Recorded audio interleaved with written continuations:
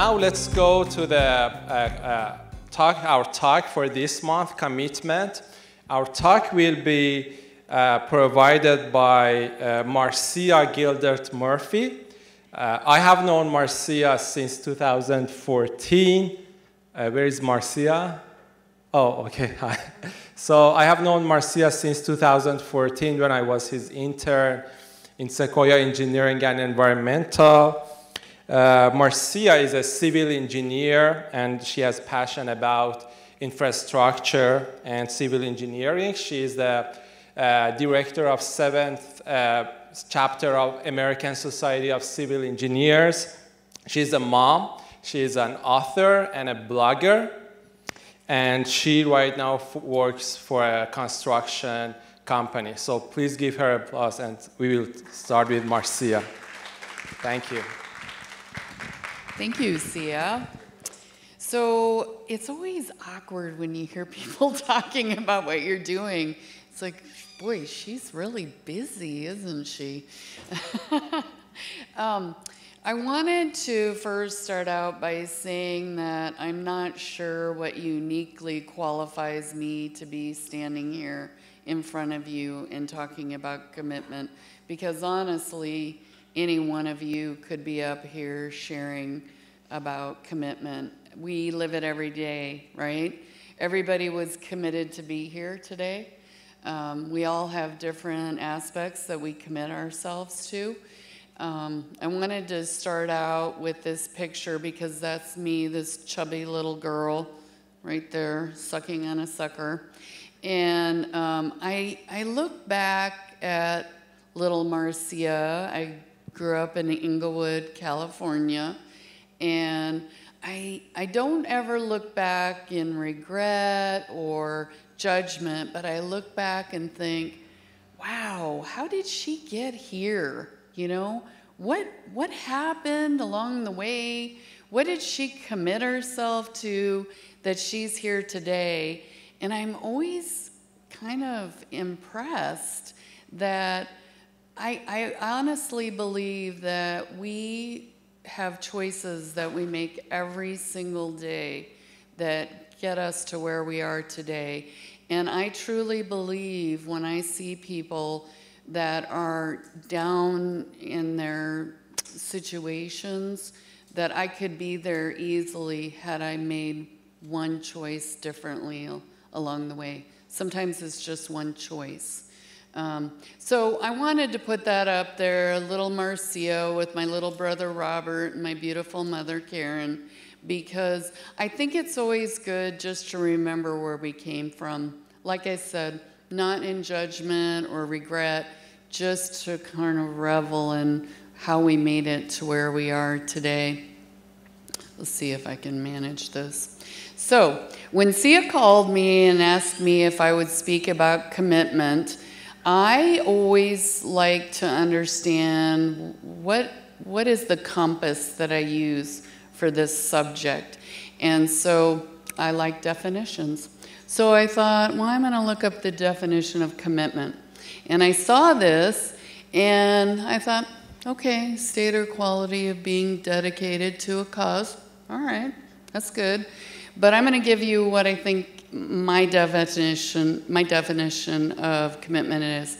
It's when you give a piece of yourself, your heart, your soul, your spirit to something that is important to you. And it can be anything. It can be something related to your health. It can be something related to your philosophy about life. Um, my daughter is personally very committed to prison reform, and God love that child. She has been committed since she was about Eddie's age. Um, and so it can be almost anything, but it's, it is truly when you give a piece of yourself to that, that is a commitment. And um, so I thought, yeah, this is okay, but I wanted to add to it. So, where do we go from here? Um, I think that it's really, truly important to sort of do a self assessment. What am I committed to? What did I decide that is important to me? What's so important to me that I'm willing to give a piece of myself to this, to really dedicate myself to focus on it? And when I look at myself, I have, I have a variety of commitments. We all do. I committed to be here today. I'm a committed vegetarian. Um, I commit every morning at four o'clock in the morning to walk my dog Ava. so there are all sorts of commitments that we make. But when I looked back at the history of myself over the years and thought about what's really important to me, I look at the lens of potential when I see everybody. So that's why I started this conversation by saying any one of you could be standing up here because I do see the potential in everybody. And it's probably the engineer in me, you know, all material has potential energy. Um, I particularly love children because they have this bright, shining light of potential that hasn't been diminished. We all have it, but theirs is right there out loud. And I always try to have interactions with people where I can inspire and support their potential. So that is a commitment I have and I stay with. It's a choice I make, it's a focus that I stay with. And when I met Sia in 2014 and he was an intern with me, I just saw the potential that he has and still does. And I revel in it. And I'm, and I'm not um, just particularly focused on people who think the same way as me or do the same things as me. As a matter of fact, I find it very interesting to understand people who don't think like me or look like me or do the things I do. I want to understand where they got to where they are and what potential they have because I truly believe everyone has potential and I'm committed to that. So I saw this quote and I thought that this was really helpful to this subject.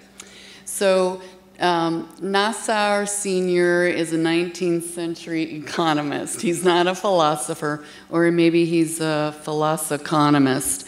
But um, it says to obtain from the enjoyment which is in our power, or to seek distant rather than immediate results, are among the most painful exertions of the human will. So when it comes to commitment, we make a commitment, whatever it is. And then, you know, we're, we have this indulgement that's maybe a little easier. So I have this commitment. Let's say I'm committed to being a vegetarian. But then I'm at this event and there's something that's really good and it's not consistent with my diet, but it'd be really easy to take this little indulgence. And that's okay. That's all right. But if we do that day after day, what's the end result, right? If we're focused on this dream, this goal, if we're looking at bigger commitments, and we indulge ourselves in what's easier along the way, and that becomes the habit, that becomes the norm, then how do we achieve where we're trying to go? So I think that it's important to remember that the commitment and focus of our present self to achieve the goals and dreams of our future self needs to overcome the indulgences and some of the habits of our past self. So um, it's all about being present, it's all about being in the present moment. Um, and that was one of the things that I wanted to talk about on the next slide. So, whenever I'm thinking about doing anything or focused on any cause or goal or dream, I always think where, when, how. So, with commitment, where is now? And when, where is here? When is now? And how is integrity to yourself, right? So you've decided that you want to do something, okay? Whatever that is, whatever that goal is, whatever that dream is, whatever you want to achieve.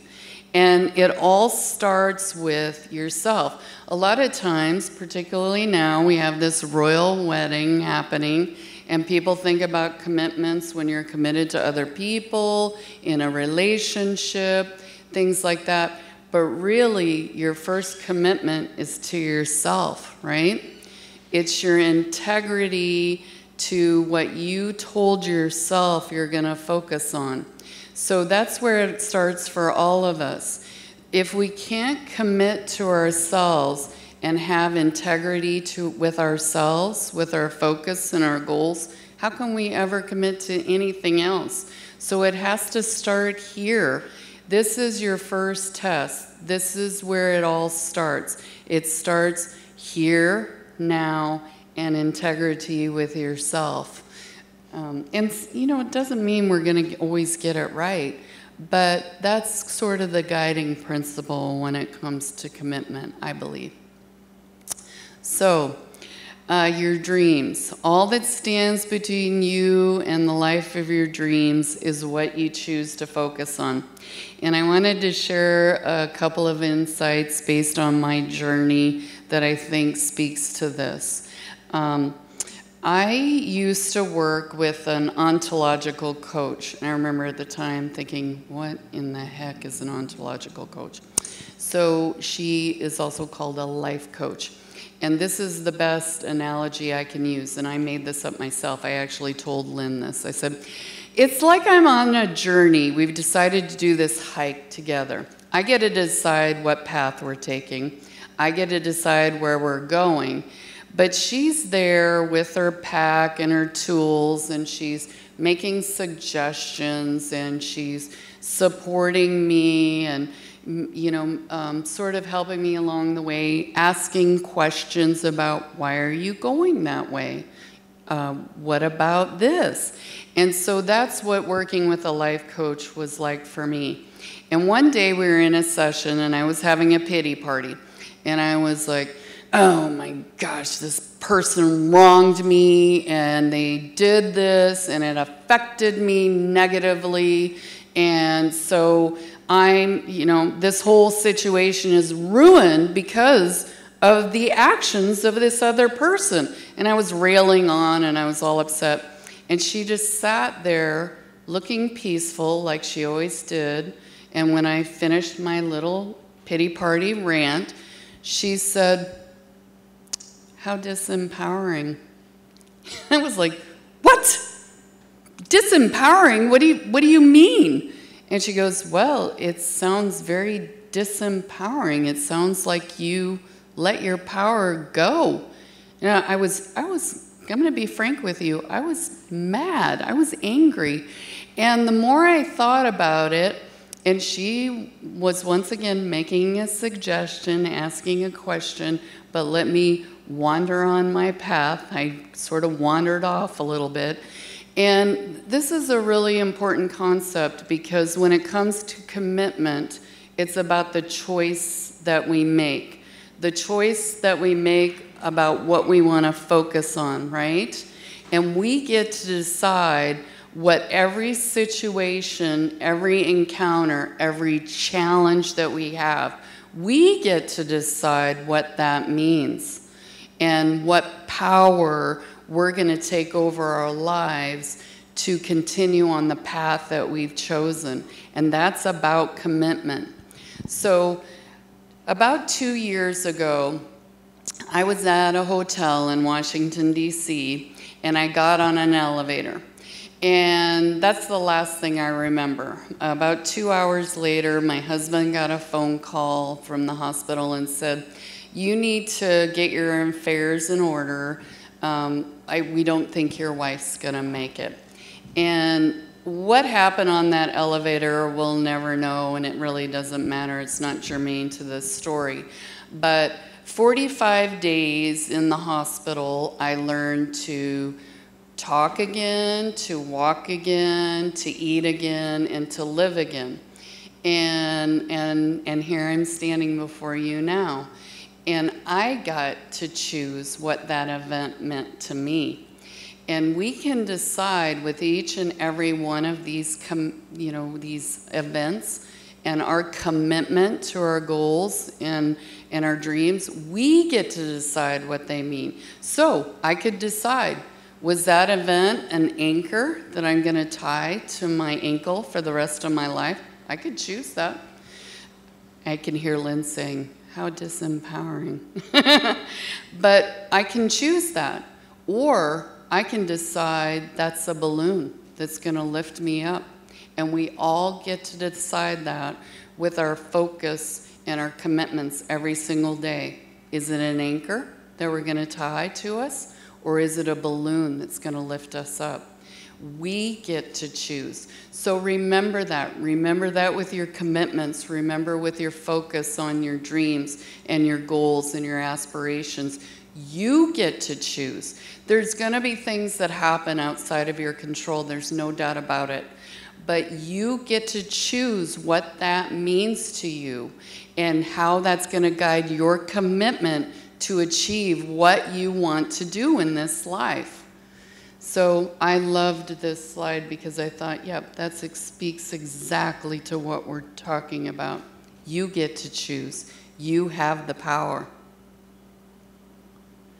So, commitment to your dreams is an act of self love. It is. And it goes back to what I said before about having integrity for yourself. You've decided what your goals and your dreams and your aspirations are.